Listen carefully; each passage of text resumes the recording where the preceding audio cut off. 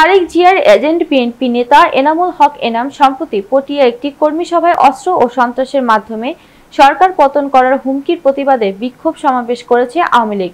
শনিবার বিকেলে পটিয়া উপজেলার শান্তিরহাট এলাকায় কুসুমপুরা ও জিরি ইউনিয়ন আওয়ামী লীগ, যুবলীগ ও ছাত্রলীগের যৌথ উদ্যোগে এক বিক্ষোভ মিছিল মহাসড়ক প্রদক্ষিণ শেষে প্রতিবাদ সভা অনুষ্ঠিত হয়।